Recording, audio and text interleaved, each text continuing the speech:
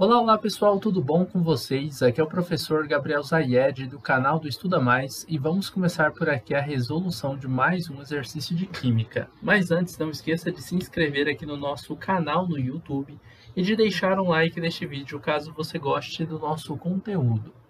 Bom, na aula de hoje a gente vai resolver essa questão que fala sobre gases e diz o seguinte: calcule o volume ocupado por 6 gramas de gás hidrogênio. O gás hidrogênio é o gás H2. Uh, ah, e aí ele, ele, mostra aqui né, que é o H2 a uma temperatura de 127 graus Celsius, uma pressão de 4 atmosferas. Também temos como dados a massa né, que a gente tem uh, do H2, que é de duas unidades de massa atômica. Essa massa já é da molécula, tá? Então, a gente pode utilizar esse dado, que é a massa molecular, para a gente fazer o cálculo do número de mols que a gente tem uh, desse gás hidrogênio. O número de mols ele é calculado assim, ó, número de mols de H2 ele é a massa que a gente tem do H2 dividido por sua massa molar. A massa molar é uma massa medida em gramas por mol ela é igualzinha a essa massa molecular, só que a unidade de medida dela é o grama por mol. O que você vai fazer para calcular o número de mols é colocar aqui, número de mol de H2 é igual. Qual que é a massa dele? Não são 6 gramas? Então, você vai colocar 6 gramas dividido pela massa molar. A massa molar é essa daqui, 2, só que em gramas por mol, tá? São 2 gramas por mol que a gente tem de hidrogênio. Na divisão, o grama corta com grama só fica unidade de mol. 6 dividido por 2 vai dar 3. Então, o número de mols que a gente vai ter do gás hidrogênio é igual a 3 mol de H2. Então, a gente descobriu o número de mols que a gente tem de hidrogênio. E a gente vai precisar dessa informação, do número de mols, para a gente poder fazer o cálculo do volume ocupado por esses 6 gramas, que seriam os 3 mols de gás hidrogênio, tá bom?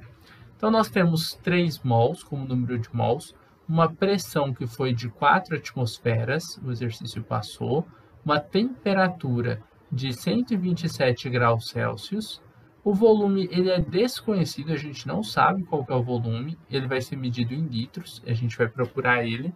E a gente tem, quando a gente trabalha com gases, né, a gente pode utilizar a equação de Clapeyron, que é PV igual a nRT, a gente tem aqui o R, que é a constante dos gases, que tem um valor fixo para essas unidades de medida, que seria de 0,082 atm vezes litro sobre mol vezes Kelvin. Aí você vai fazer o seguinte, ó. Aqui uh, eu estou procurando o volume, então a pressão eu vou jogar para o outro lado da equação. Vou ficar com a seguinte fórmula: volume é igual a nRT sobre a pressão.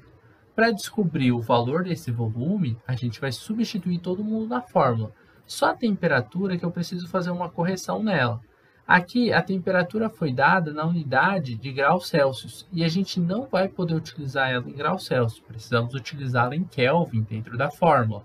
Você vai pegar essa temperatura e somar com o valor de 273, o que vai dar 400 kelvins é o mesmo, é o mesmo valor de temperatura, só estão escalas termométricas diferentes. E você tem que converter para Kelvin para poder utilizar dentro dessas equações de gases, tá? Então a gente vai basicamente substituir a temperatura de Celsius para a temperatura em Kelvin. O volume ele vai ser igual ao número de mols, que a gente já até calculou, 3 mol, vezes a constante dos gases, que é 0,082, atm vezes litro, sobre mol vezes Kelvin. Isso aí a gente vai multiplicar pela temperatura, que é uma temperatura de 400 kelvins. E isso tudo a gente vai dividir pelo, pela pressão que a gente tem de 4 atm, de 4 atmosferas. Aí a gente vai fazer a multiplicação entre esses valores que a gente tem aqui. 0,082 pelo 400, ó. 0,082 vai multiplicar por 400.